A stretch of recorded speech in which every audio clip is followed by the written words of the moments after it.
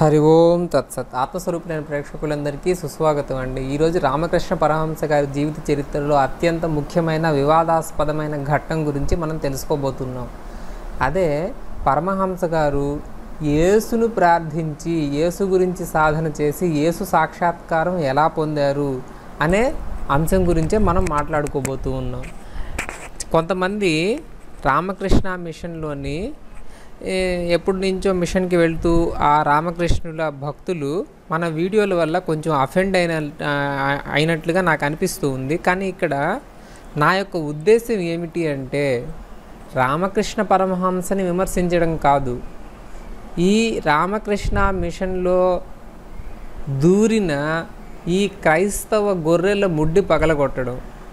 క్రైస్తవ గొర్రెలు రామకృష్ణ మిషన్లో దూరి రామకృష్ణ పరమహంస గారి జీవిత చరిత్రలో లేనిపోని కల్పితాలను చేర్చి యేసు దేవుడు అని వాళ్ళు రుజువు చేసుకోవడానికి వివేకానంద స్వామిని మరియు రామకృష్ణ పరమహంసని వీళ్ళ యొక్క రచనల్ని విరివిగా వాడుకుంటూ ఉన్నారు.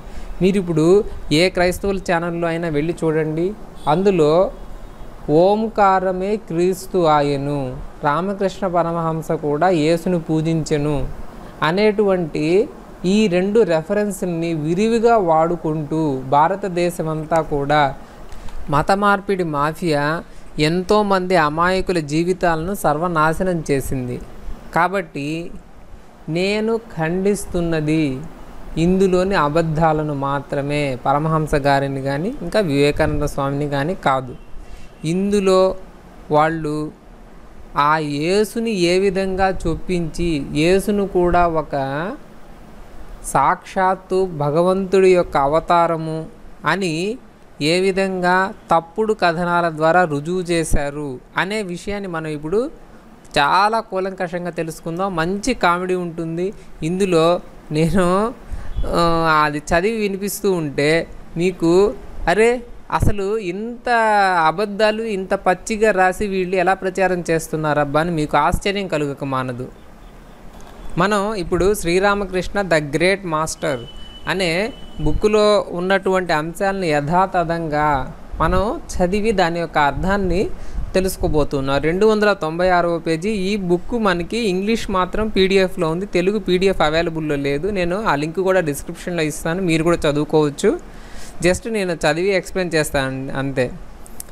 సి ద ఎక్స్ట్రాడినరీ డివైన్ ఒక్క నిమిషం ఉండండి. ఇది ముందు పేజీ అండి. క్షమించాలి. The story of the master's sadhanas అంటే రామకృష్ణ పరహంసుల యొక్క సాధనల గురించి వాళ్ళు వివరిస్తూ ఏం చెప్తున్నారు?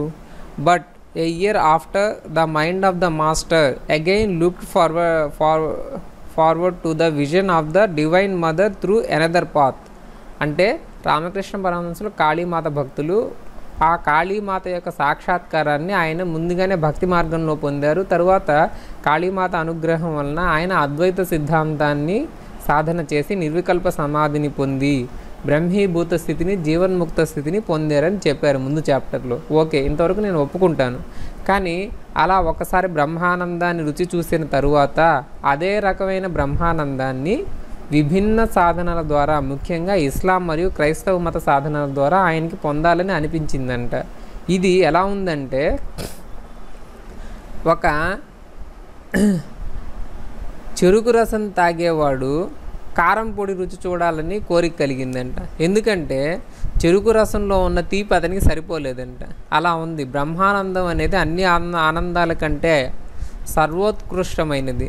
ఎందుకంటే ఒక్కసారి బ్రహ్మానందాన్ని రుచి చూసిన వాడికి విషయ వాంఛల మీద కానీ లేదా మిగతా ఇతర సాధనలు చేయాలని కానీ లేదా శాస్త్రాలు చదవాలని కూడా అతనికి కోరిక కలగదు.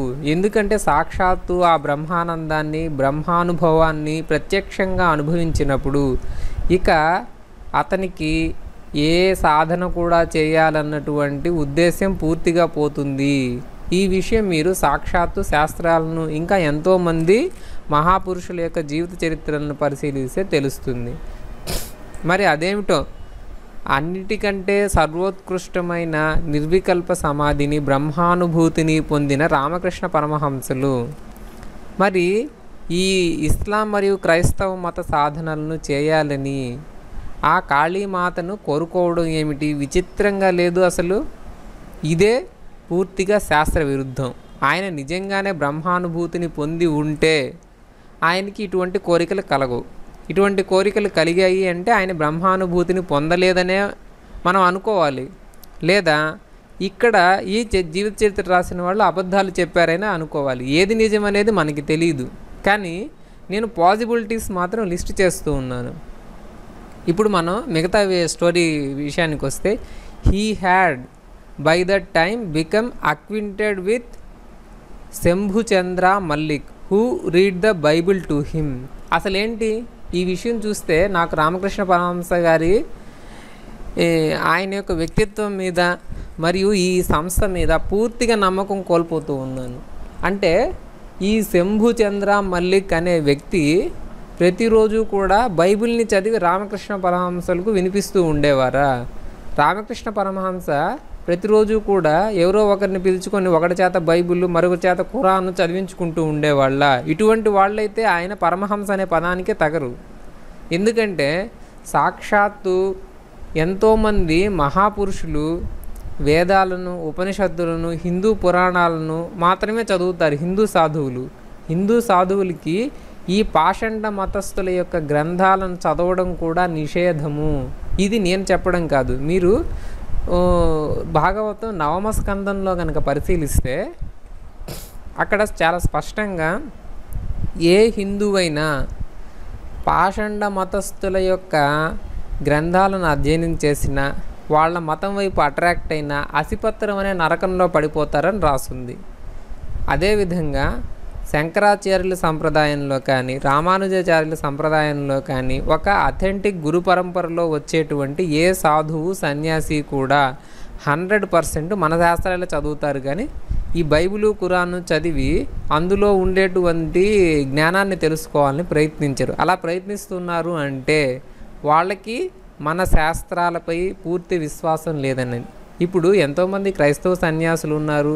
సన్యాసులు అనకూడదు. వాళ్ళు మాంగ్ ఏదో అంటారు క్రైస్తవులు కానీ మరి ముస్లింలు కానీ ఎప్పుడు ఖురాన్ బైబిలే చదువుతారు కానీ అప్పుడప్పుడు భగవద్గీత మన శాస్త్రాలు కూడా చదువుతారు. ఎందుకంటే మనల్ని విమర్శించను మతం మార్చను. అంతేకాని మ- అందులో ఉండే గొప్ప విషయాలను తెలుసుకోవడానికి కాదు. కానీ ఇక్కడ రామకృష్ణ పరమహంస ప్రతిరోజు బైబిల్ చదివించి ఆ వాక్యాలను వింటూ వింటూ ఉన్నారు అంటే నాకు పూర్తిగా ఇందులో సందేహం కలుగుతుంది.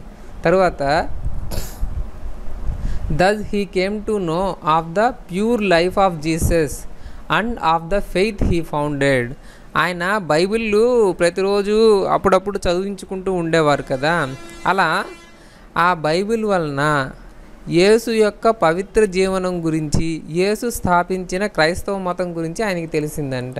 ఈ వాక్యం రాసిన వాడికి అసలు బైబిలు ఇంకా యేసు గురించి తెలియదని మనం అనుకోవాలి. ఎందుకంటే యేసుది పవిత్ర జీవనము అని ఎక్కడా లేదు. ఏసు జీవనంలో అంతా అపవిత్రమే. పుట్టుక దగ్గర నుంచి అపవిత్రమే.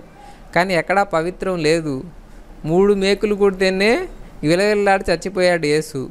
ఇంకా యేసు ఒక అంజూరపు చెట్టుని కాయలు కాయలేదని శపించి అది భస్మం అయిపోయేలా చేశాడు. ఇలా యేసు చేసినటువంటి అనేక దురాగతాలు ఉన్నాయి నన్ను నమ్మని వాడికి పెద్ద బండరాయి కట్టి సముద్రంలో వేసి ముంచమని చెప్పాడు యేసు. అటువంటి యేసు ఒక పవిత్రమైన వ్యక్తిగా పవిత్రమైన జీవితంగా రామకృష్ణ పరమహంస గారికి కనిపించడం నాకు చాలా ఆశ్చర్యకరంగా చాలా అనుమానాస్పదంగా అనిపిస్తుంది. తరువాత ఫెయిత్ హీ ఫౌండెడ్ క్రైస్తవ మతం గురించి తెలిసిందంట. అంటే క్రైస్తవ మతం కూడా చాలా ఉత్తమమైందని రామకృష్ణ పరమహంసలు తెలుసుకున్నారు. ఇక మీరు ఆలోచించుకోండి. నేను ఇంకా ఎక్కువ కామెంటరీ చేయను. Scarcely he had had the desire arisen in his mind when the divine mother fulfilled in a marvellous way and blessed him ఈ విధంగా యేసు యొక్క పవిత్ర జీవనం గురించి బైబిల్ గురించి ఆ కాళీమాతే ఆయనకి ఈ జ్ఞానాన్ని ప్రసాదించింది అని ఆయన సంతోషపడ్డాడంట. ఇంకేం చెప్తాం? కాళీమాత యేసు గురించి తన భక్తుడికి చెప్పిందంట.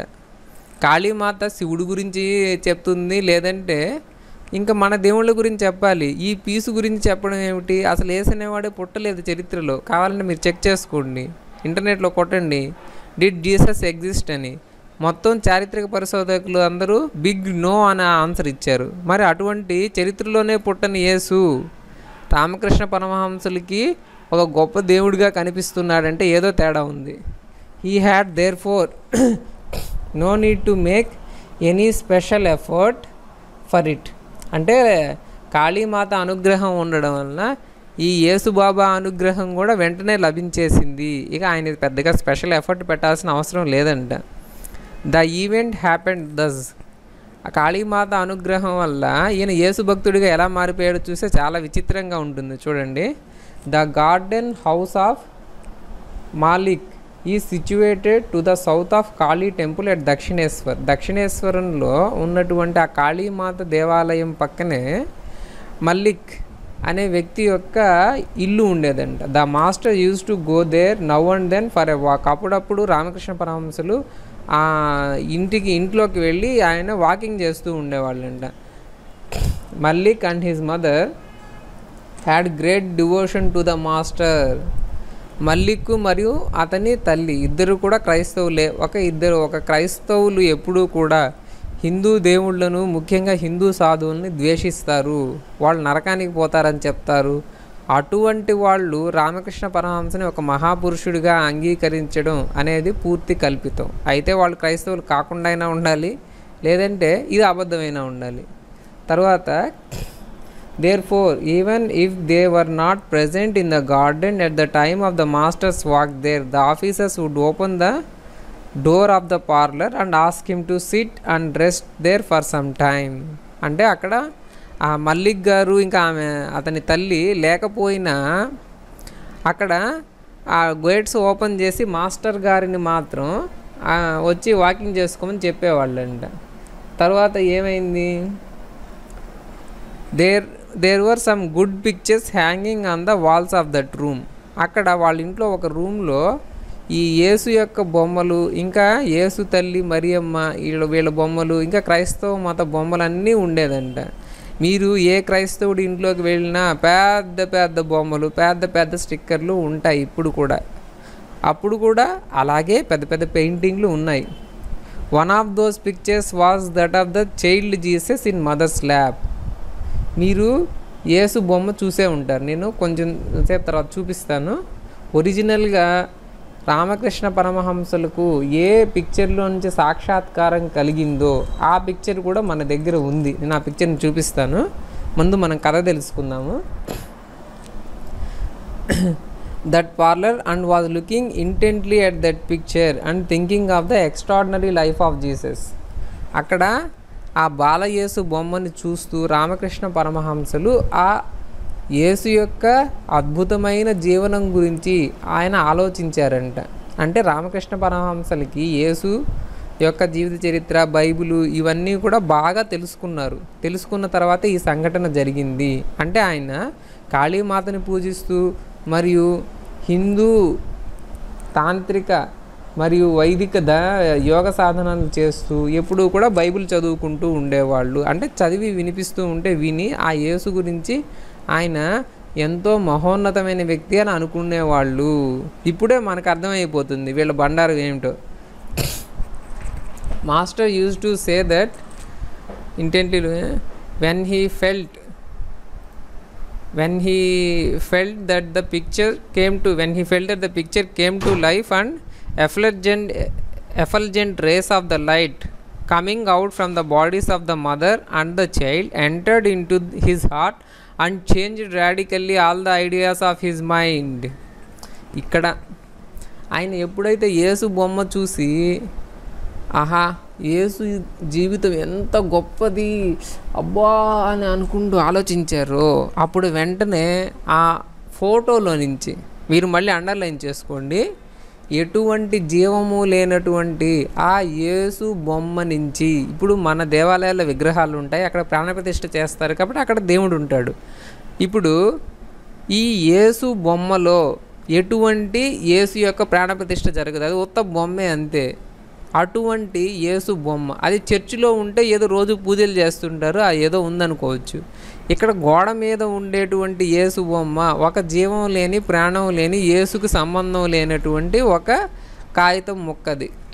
అటువంటి కాగిత కాగితం ముక్కలో నుంచి అద్భుతమైన ఎఫల్జెంట్ రేస్ వచ్చాయంట. ఒక దివ్యమైన కాంతి పుంజం అలా వచ్చిందంట. వచ్చి ఏమైందో చూడండి. చూస్తే అసలు ఆశ్చర్యంగా ఉంది. Coming out from the bodies of the mother and the child అక్కడ ఆ పిల్ల యేసు ఆ పిల్ల యేసు తల్లి యేసు.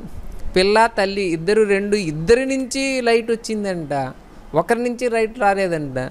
అసలు ఈ మరియమ్మని దేవతగా దేవుడిగా క్రైస్తవులో ప్రొటెస్టెంట్లు చాలామంది ఒప్పుకోరు. కేవలం క్యాథలిక్కులు మాత్రమే ఒప్పుకుంటారు. వాళ్ళలో కూడా చాలా కాంట్రడిక్షన్ ఉంది. కాబట్టి అందరినీ కలుపుకోవడానికి మరియమ్మని కూడా కలిపారు. ఒక పీసే కాదు పీసు తల్లిని కూడా కలుపుకున్నారు. చూడండి వీళ్ళ కుట్ర అనేది ఎంత ఇదిగా ఉందో. ఇద్దరిని కలుపుకున్నారనమాట ఆ ఇద్దరిలో నుంచి కాంతి కిరణాలు వచ్చాయి అద్భుతమైన కాంతి కిరణాలు వచ్చి ఆయన యొక్క హృదయంలోకి అలా నేరుగా వెళ్ళిపోయాయంట. ఆ చిత్రపటంలోని తల్లి తల్లి యేసు పిల్ల యేసు ఇద్దరి దగ్గర నుంచి ఒక దివ్యమైన కాంతి పుంజం సినిమాల్లో చూపిస్తుంటారు కదా. గ్రాఫిక్స్లో వచ్చి ఆయన హృదయంలోకి వెళ్ళిపోయాయంట విచిత్రం చూడండి. ఆయన కళ్ళల్లోకి తలలోకి వెళ్ళలేదు. హృదయంలోకి వెళ్ళిపోయాయి. అలా వెళ్ళిపోయిన తర్వాత ఏం జరిగింది అనేది ఇంకా ఆశ్చర్యకరంగా ఉంటుంది మీకు. ఏం జరిగింది? Change radically all the ideas of his mind ఎప్పుడైతే పిల్ల యేసు తల్లి యేసు దగ్గర నుంచి ఆ కిరణాలు హృదయంలో ప్రవేశించాయో ఆయన యొక్క ఆలోచన ధోరణి ఆయన యొక్క ఐడియాలజీ అంతా మారిపోయింది. ఇలా ఒక పిల్ల యేసు నుంచి వచ్చిన కాంతి కిరణం ఒక వ్యక్తి యొక్క ఐడియాలజీని మార్చేసింది అంటే అంటే ఆయనకి ఆత్మజ్ఞానం సాక్షాత్కారం కలిగి ఉంటే ఇక దాన్ని ఎవరు ఏమీ మార్చలేరు. కానీ ఇదేంది ఇక్కడ ఇది ఇలా మార్చను? తరువాత on finding that all the inborn Hindu impressions disappeared into a secluded corner of his mind అంటే హిందూ ఆచారాలు హిందూ విశ్వాసాలు హిందూ దేవుళ్ళ పట్ల దేవుళ్ళ పట్ల భక్తి ఇంకా మన గ్రంథాలలో ఉన్నటువంటి ఆత్మతత్వము ఇవన్నీ కూడా ఆయన యొక్క మనస్సులో ఒక మూలకి నెట్టివేయబడి ఒక మూలన ఇప్పుడు మనం ఈ మన ఇంట్లో దుమ్మంతా చిమ్మి ఒక మూలను తోస్తాం కదా అలా ఆయన మనసులో ఉన్నటువంటి వేదాంత తత్వము భక్తి తత్వము అంతా కూడా ఒక మూలకి నెట్టివేయబడిందంట. యేసు యొక్క బొమ్మ నుంచి వచ్చిన ఆ దివ్యమైన కాంతి పుంజం వలన. చూడండి ఇంకేం చెప్తాం వీళ్ళ గురించి? అలా నెట్టివేయబడిందంట. నెట్టివేయబడిన తరువాత ఏం జరిగింది? He tried in various ways to control himself and prayed earnestly to divine mother అలా మన దేవుళ్ళ పట్ల భక్తి ఇంకా మన శాస్త్రాల పట్ల పట్ల గౌరవము ఇటువంటి భక్తి భావాలు ఉన్నతమైనటువంటి భావాలన్నీ కూడా ఎప్పుడైతే అలా ఒక మూలకి నెట్టివేయబడి ఈయనకి మన దేవుళ్ళు అంటే ద్వేషము మన దేవుళ్ళు సైతాన్లు అనేటువంటి నమ్మకాలు పూర్తిగా కోల్పోయాడో అప్పుడు దాన్ని ఆయన రక్షించుకోవడానికి ప్రయత్నించాడు. ప్రయత్నించి కాళీమాతకి ప్రార్థించాడు. కాళీమాత నువ్వంటే ఇంకా మన హిందూ దేవుళ్ళ నాకు ద్వేషం కలుగుతూ ఉంది ఈ యేసు బాబా వల్ల. అని రక్షించని ప్రార్థిస్తే కాళీమాత కూడా రక్షించలేకపోయిందంట. చూడండి ఏం తమాషానండి అసలు. Super super comedy. What strange changes art thou bringing about in me బ్ర మదర్ బట్ నథింగ్ అవైల్. కాళీమాతను ప్రార్థిస్తే ఆమె కూడా చేతులు ఎత్తేసింది ఏమీ చేయలేక. Rising with a great force the waves of those impressions completely submerged the Hindu ideas in his mind చూడండి. ఆయన టెంపరీగా హిందూ మతంలో సెలవు పెట్టి ఒక టెంపరీ క్రైస్తవుడిగా మారిపోయాడు. క్రైస్తవుడిగా క్రైస్తవ మతోన్మాది ఒక క్రైస్తవ మతోన్మాది మాత్రమే.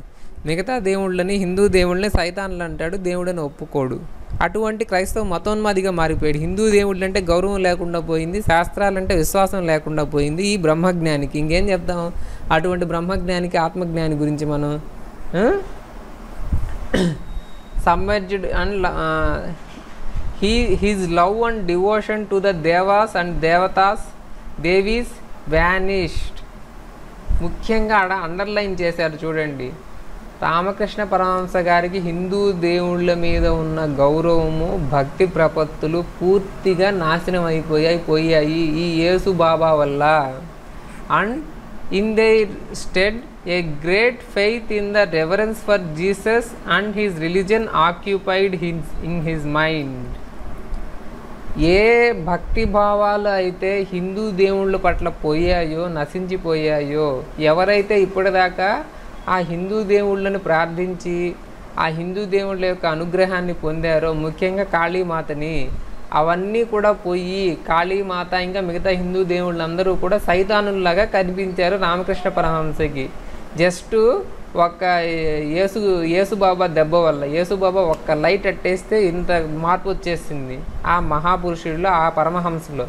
వచ్చేసిన తరువాత ఏమైందంటే ఆ భక్తి భావం అంతా కూడా ఈ పిల్ల యేసు తల్లి యేసు మీద కాన్సన్ట్రేట్ అయిపోయిందంట.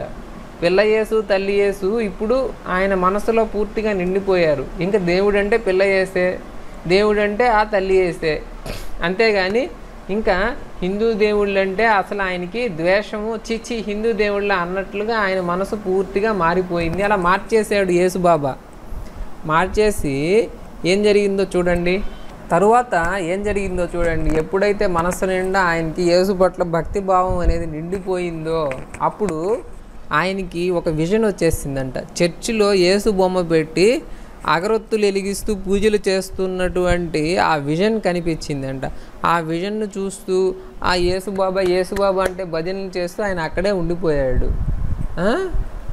ఏ చూడండి చాలా స్పష్టంగా రాశారు. The image of the Jesus in the church to reveal him the eagerness of hearts hearts is, as is seen in the earnest prayers Christians offering incense and light before the image of the Jesus Yesu బొమ్మ ఎదురుగా కడ్డీలు వెలిగించి అగరబత్తీలు పెట్టి అక్కడ candles పెడుతూ ఉంటారు. ఆ బొమ్మ కనిపించిందంట. యేసు బొమ్మ ఎదురుగా చేస్తున్న ప్రార్థనలు ఆయనకి దివ్య దృష్టి ద్వారా కనిపించాయంట.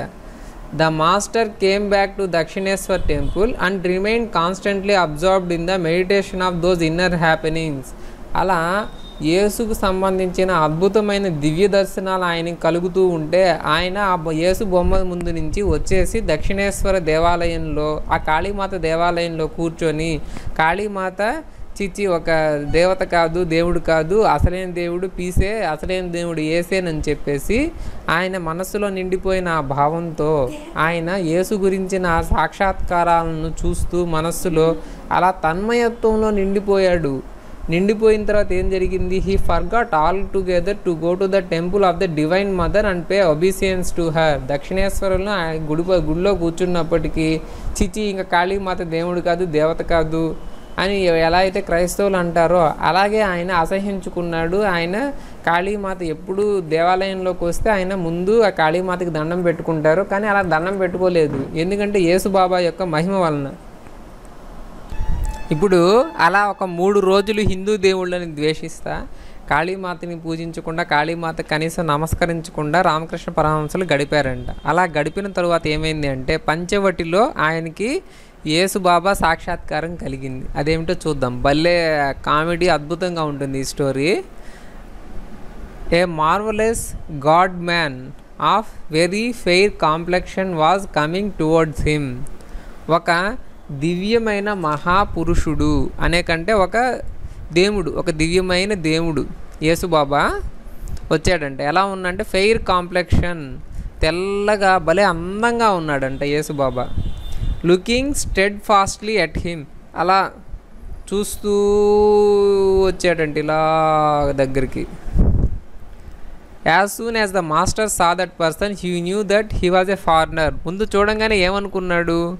ఇతను భారతీయుడు కాదు ఒక విదేశీయుడని గుర్తించాడంట. అదేమిటో ఇన్ని రోజుల నుంచి బైబిల్ చదువుతూ ఇంకా యేసు బొమ్మలు చూసి యేసు బొమ్మలనే వచ్చిన కాంతి వల్ల ఆయన ఇలాగ అయిపోయాడు కదా. ఆయనకి మరి విచిత్రంగా యేసుని గుర్తుపట్టకపోవడం ఏమిటో చాలా ఆశ్చర్యంగా ఉంది. He saw that his long eyes had produced a wonderful beauty in his face Yesu కళ్ళు అంట పొడుగ్గా ఉన్నాయంట ఇలా. దానివల్ల ఆయన చాలా అందంగా ఉన్నాడంట. And the tip of nose though a little flat did not at all impair that beauty ఆయన యొక్క ముక్కుము చప్పిడి ముక్కు అంట చప్పిడి ముక్కు ఉన్నా కానీ భలే అందంగా ఉన్నాడంట. విచిత్రంగా చూడండి. The master was charmed to see the extraordinary divine expression for that handsome face and wondered who he was ఇంత అందంగా ఉన్నాడు భారతీయుడు కాదు సడన్గా ఎక్కడి నుంచి వచ్చాడు ఈ మహాపురుషుడే ఆశ్చర్యపోయాడంట.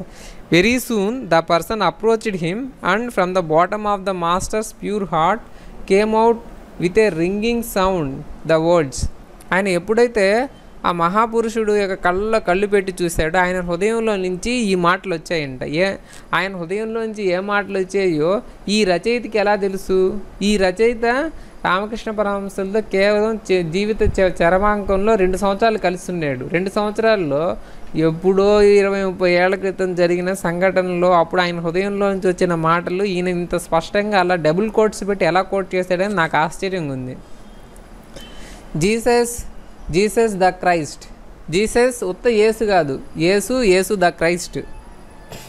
The great yogi Yesu యోగంటయ్యో నాయను వినలేకుండా ఉన్నాం. యేసుకి శవాసనం కూడా రాదు యేసుకి గట్టిగా మా గట్టిగా గాలి పీల్చి వదిలే ప్రాణాయామం కూడా రాదు. అటువంటి యేసు యోగి ఎప్పుడయ్యాడు? యేసు ఒక మతోన్మాది. యేసు ఒక పిచ్చోడు. బైబిల్ చదువుకోండి. యేసు వాళ్ళ తల్లిదండ్రులు యేసు ఒక పిచ్చోడు అన్నాడు.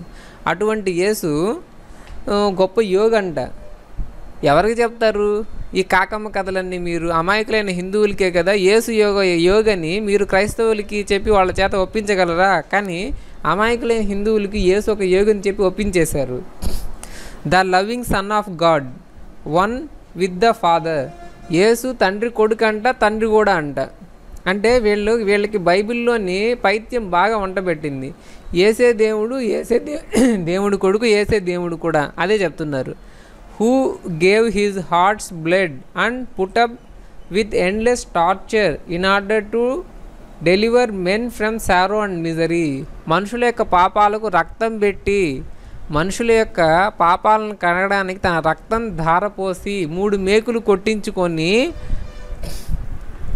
రోమన్ సైనికుల చేత తన కొరడా డబ్బలు తిని రోమన్ సైనికుల చేత మొహం మీద ఊహించుకున్నటువంటి వ్యక్తి ఇతనే అని రామకృష్ణ పరమహంసల హృదయంలో నుంచి ఒక మెసేజ్ వచ్చిందంట. అంటే యేసు రక్తమే జయము. యేసు రక్తం వల్లనే మన పాపాలు పోతాయి. మన పాపాలన్నిటి కోసం యేసు ప్రాణాలు పెట్టాడు రక్తం కార్చాడు అనే కదా ఏ క్రైస్తవుల యొక్క సిద్ధాంతం. ఆ సిద్ధాంతాన్ని యథాతథంగా ఆయన యొక్క హృదయంలో నుంచి వచ్చినట్టుగా వీళ్ళు పుస్తకాలు రాసి ఈ పుస్తకం ద్వారా వీళ్ళు చెప్పదలుచుకునేది ఏంటంటే యేసుని నమ్ముకుంటేనే మన పాపాలకు పాపక్షమాపణ.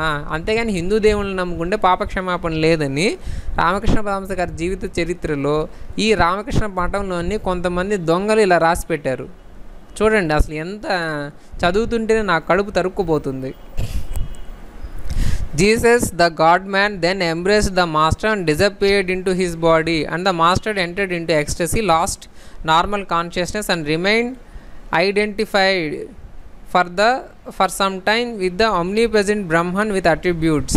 అంటే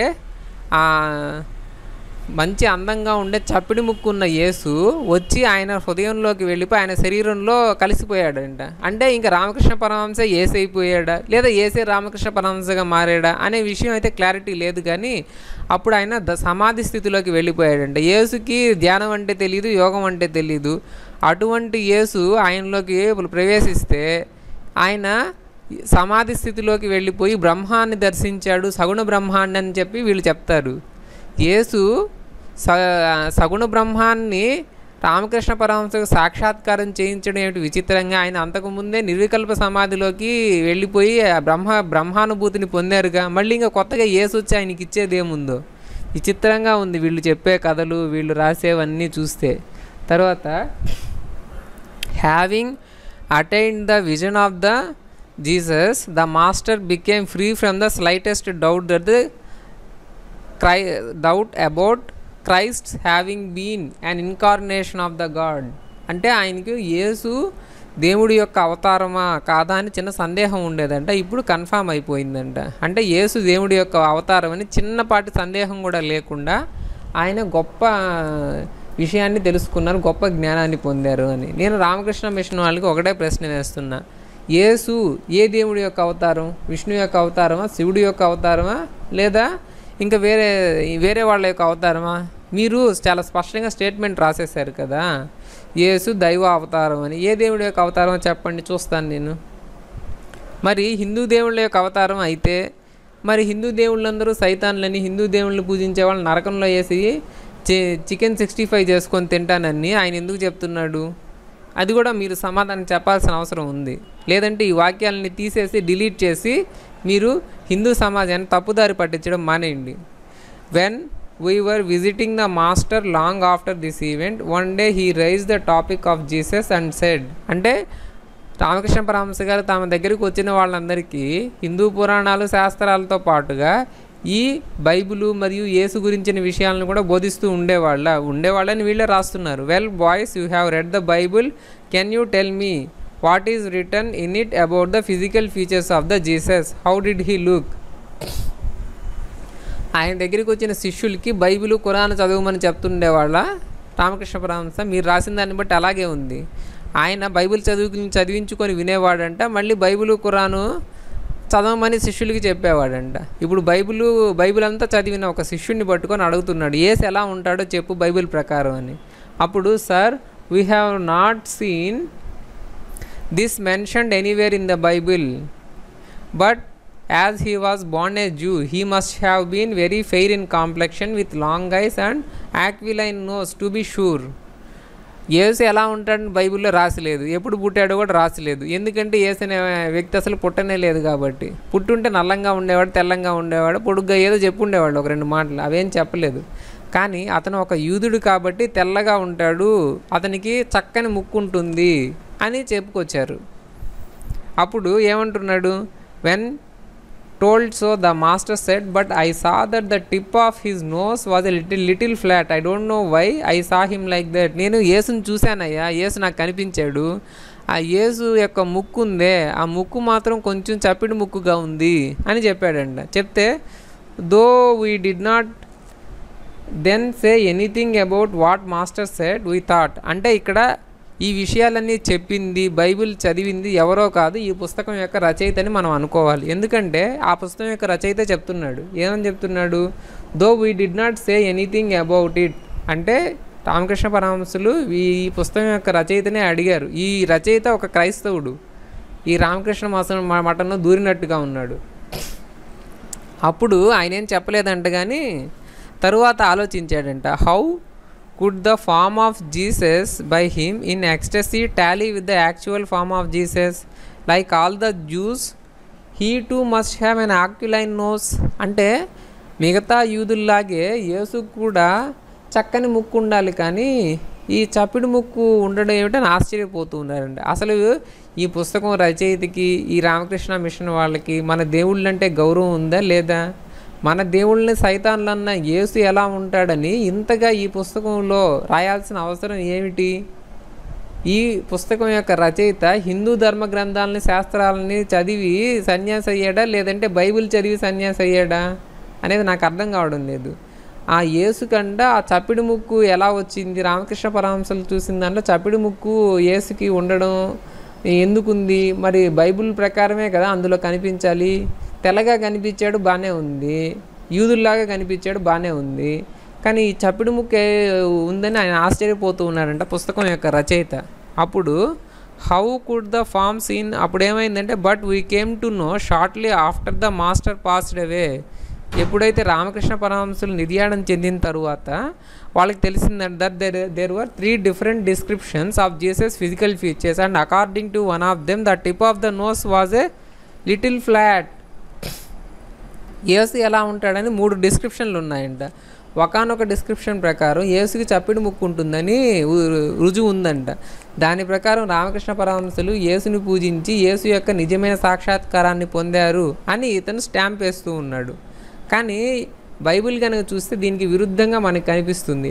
Leviticus twenty one sixteen to twenty four కనుక చూస్తే flat noses right up three with blind blindness curvy and other disabilities that disqualify free people from serving the temple అంటే లెవిటికస్లో యహోవా దేవుడు ఏం చెప్తాడంటే చప్పిడి ముక్కులు ఉండేవాళ్ళు గుడ్డివాళ్ళు కుంటివాళ్ళు నా దేవాలయంలో ప్రవేశించడానికి అనర్హులు అంటాడు. మరి ఆ యహోవా యొక్క కుమారుడిగా పిలువబడుతున్న యేసుకి చప్పిడి ముక్కు ఉండడం అనేది దోషం కాదా? మరి అలా అటువంటి చప్పిడి ముక్కు ఉన్న వ్యక్తి దేవుడి కొడుకుగా ఎలా ఉంటాడు? అటువంటి చప్పిడి ముక్కు ఉండే వాళ్ళని నా దేవాలయంలోకి రానీను అన్నాడు. యహోవా మరి యేసుకు చప్పిడి ముక్కు ఉండడం అనేది ఒక శాపం. ఆ చప్పిడి ముక్కు ఉండేవాళ్ళు శాపగ్రస్తులు కాబట్టి ఆయన నా దగ్గరికి రావద్దన్నాడు. మరి అలా ఈ యేసుకి చప్పిడి ముక్కు ఉంటే ఆయన యహోవా సన్నిధిలోకి ఎంట్రీ లేదు. మరి అతనికి ఇంకా యహోవా కొడుగ్గా ఉండే అర్హత కూడా లేదు. కాబట్టి యేసుకు చప్పిడి ముక్కు ఉండడం అనేది ఒక అబద్ధం. మూడు రెఫరెన్స్లు ఉన్నాయని ఏదో చెప్పుకొచ్చాడు కానీ దొంగ కథలు అదంతా ఉత్త అబద్ధం. బైబిల్ ప్రకారం యేసుకి చక్కని ముక్కే ఉండేది. క్రైస్తవులు ఎవరన్నా ఉంటే దీని మీద మీరు కామెంట్ చేసి రామకృష్ణ మిషన్ వాళ్ళకి బుద్ధి చెప్పి ఈ ప్యాసేజ్ని తొలగించమని చెప్పండి. ఇది నేను ఇందులో రామకృష్ణ పరమహంస గారిని ఇంకా ఆయన చెప్పిన సిద్ధాంతాన్ని నేను తప్పు పట్టడం లేదు. కానీ ఇందులో దూరిన క్రైస్తవ గొర్రెల ముడ్డి మాత్రం పగలగొట్టాల్సిందే. వీళ్ళు రామకృష్ణ పరమహంసాన్ని అడ్డం పెట్టుకొని యేసు దేవుడని ఈ పుస్తకాల్లో రాసి ఇంకా ప్రతిరోజు కూడా యేసు బొమ్మలు పెట్టి పూజలు చేస్తూ ఉన్నారు. క్రిస్మస్కి అయితే పెద్ద సెలబ్రేషన్స్ మామూలుగా అయితే ప్రతి ఆర్కే మట్లో కూడా యేసు బొమ్మలు ఉంటాయి. అంటే భారతదేశాన్ని నాశనం చేయడానికి కంకణం కట్టుకున్న యేసు మీకు దేవుడు ఎలా అయ్యాడు? మన దేవుళ్ళని సైతాన్లుగా పిలుస్తున్న ఈ క్రైస్తవుల యొక్క ఆరాధ్య దైవమైన అయినటువంటి యేసు మీకు దేవుడు ఎలా అయ్యాడు? నన్ను నమ్మని వాడిని మిగతా దేవుళ్ళని పూజించే వాళ్ళని బండరాయి కొట్టి సముద్రంలో ముంచమన్నాడు యేసు. మరి ఇప్పుడు ఈ ఆధారం ప్రకారం రామకృష్ణ పరమహంస దేవుడని నమ్ముతున్న మిమ్మల్ని అందరినీ కూడా యేసు చెప్పిన దాని ప్రకారం బండరాయి కట్టి సముద్రంలో వేసేయాలి. ఏం చెప్తాం? ఇంకా మీ గురించి నన్ను నమ్మని వాళ్ళందరినీ కూడా నరకంలో వేసి ప్రతిరోజు రోస్ట్ చేసుకొని తిన్నానన్నాడు యేసు. అంటే మిమ్మల్ని కూడా యేసు గురించి గొప్పగా రాసిన మిమ్మల్ని ఏమైనా వదలతాడా? వదలడు. ఎందుకంటే మీరు రామకృష్ణ పరమహంసని ఇంకా హిందూ దేవుళ్ళని కూడా నమ్ముతున్నట్టు నటిస్తున్నారు. మిమ్మల్ని కూడా నరకంలో వేసుకొని చికెన్ సిక్స్టీ ఫైవ్ ఏదో చేసుకొని చికెన్ పకోడాని చేసుకొని తింటాడు యేసు. ఇటువంటి యేసు గురించి మీరు అబద్ధాలు చెప్పి ఇలా ప్రచారం చేసి హిందువుల్ని మోసం చేయడం అనేది చాలా పెద్ద నేరం క్షమించరాని నేరం ఇది. కాబట్టి ఇప్పటికైనా మీరు మనసు మార్చుకొని మారు మనసు పొంది స్వచ్ఛమైన హిందువులుగా మారండి. సెక్యులర్ భావాలను అమాయకులైన హిందువుల మనసుల్లో చొప్పించి ఇలా అమాయకులైన హిందువుల్ని హిందూ వ్యతిరేకులుగా మార్చవద్దు.